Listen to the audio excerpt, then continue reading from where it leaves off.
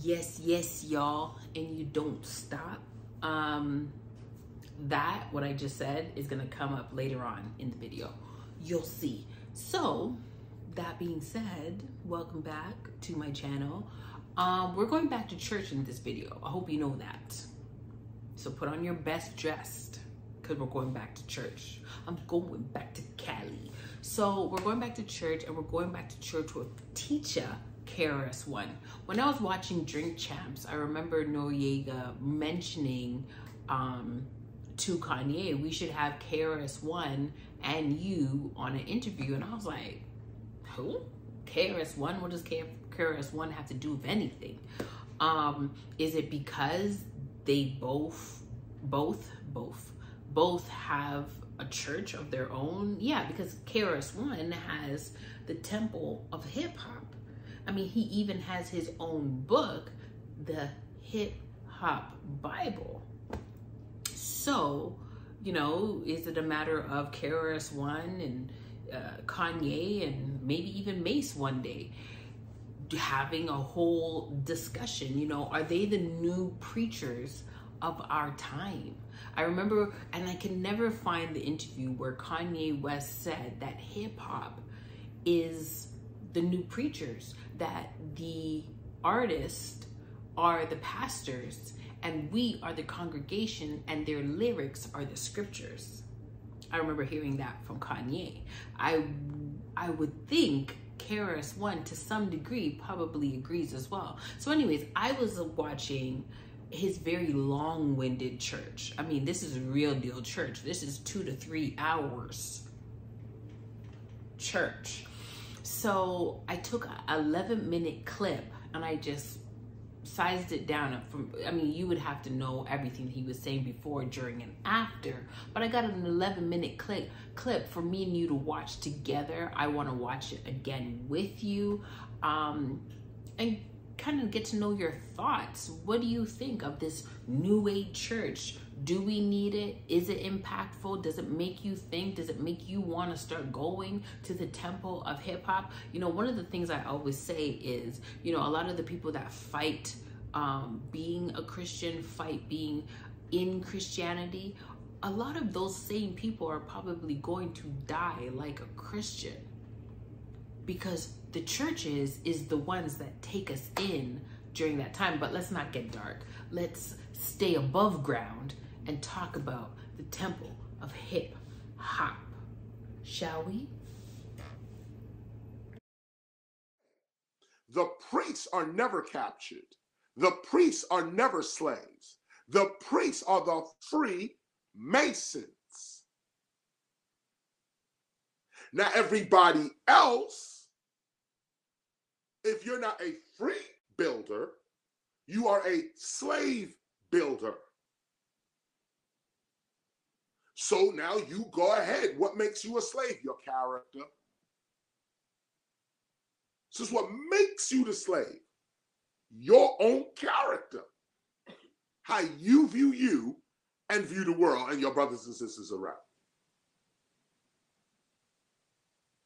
And so, when we learned that this was coming, we went to other nations and we said, take this and hide it for us until our nation wakes up again. This is facts, y'all. I'm giving you, maybe some will learn this 20 years from now. I'm giving it to you now. Those that have ears to hear, hear. This is history you will never hear because they weren't there. I was there. I did the work. I did the work. So I can tell you this, and it'll be backed up later. You'll see it.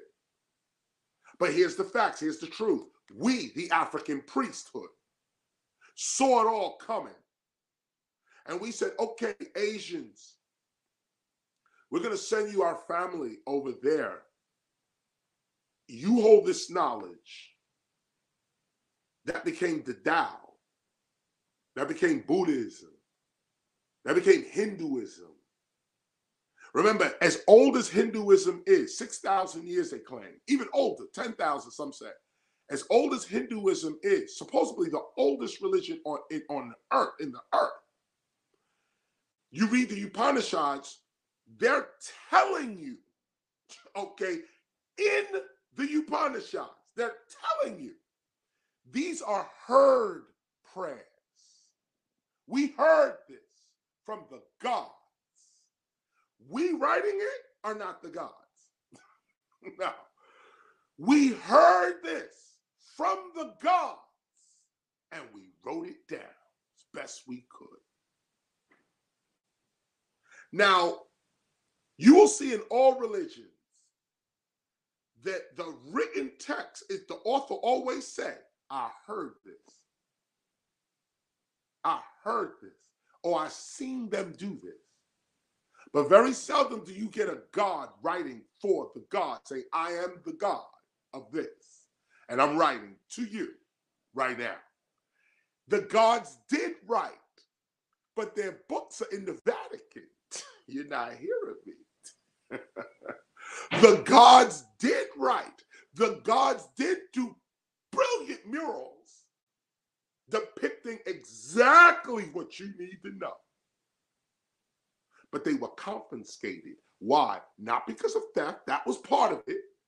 But no, the gods said, My own people, the people that come from my community, don't come from my character. And so, Asian, can you take this? Greeks, can you take this? Uh, India, can you take this? All religion is one thing the truth. And you got to ask yourself, who was the, who held the original truth? Because none of these religion, none of these books or the people in the book are the originators of what they're teaching and what's written. None of them are. None of them. They all claim with truth we saw the gods do this, we heard the gods do that. That's what we have today. In India, it's called Shruti. Shruti. Look up Joseph Campbell, uh, uh, mythologist Joseph Campbell does a real work on this one about about Shruti, which means heard prayers. That they were hearing the prayers and they wrote them down. These are outsiders, people who without the character. They're hearing the singing of the gods.